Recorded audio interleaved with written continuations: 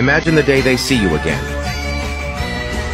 And you are just, well, better.